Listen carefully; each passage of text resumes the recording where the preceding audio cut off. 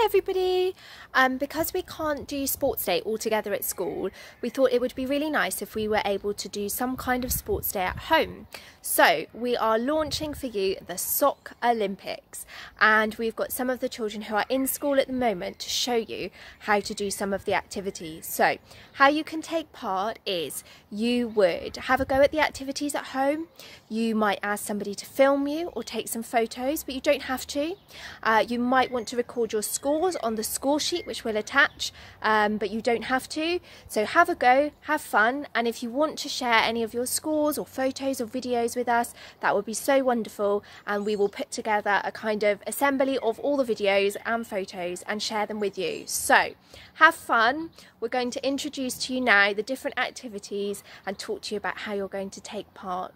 Good luck! Um, to make your socks you put your hands inside a sock, grab the other sock and pull it out. This is how you do sock catch. So you have to throw a sock or a beanbag behind you, then put your arms beneath your legs and try and catch it.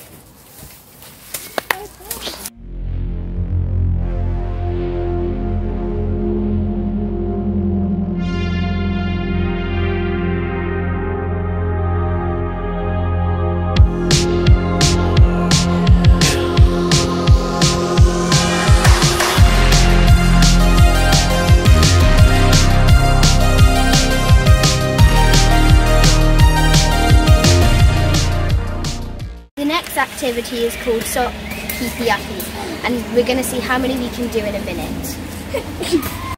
Maybe I'm going through a drought. You don't even have to do too much. You can turn me on with just a touch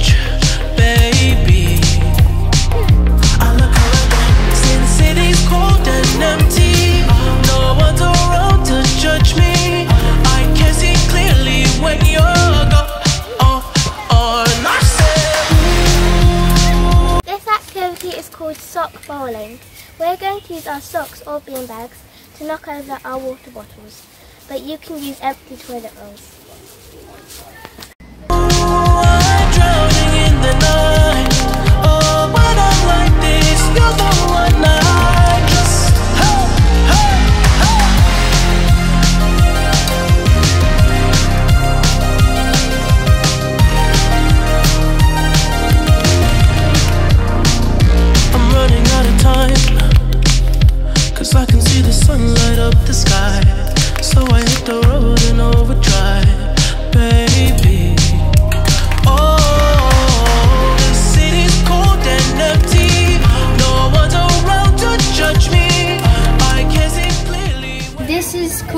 Rainbow Sock Pro. So you get a sock or a beanbag, and then you go one from one hand to the other, and see how many you can do in a minute. Uh, there, there.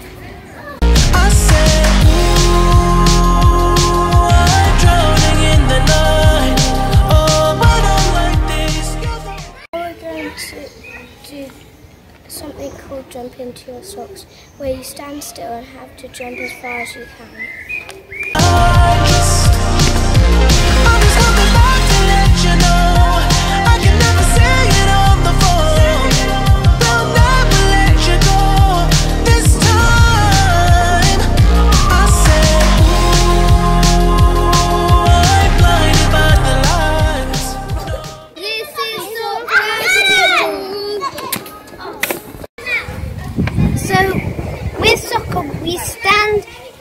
Little way back from something that you have to throw something into, something like a bean bag or maybe a bin, and then you throw the bean bag and you want to try and get it into the bin.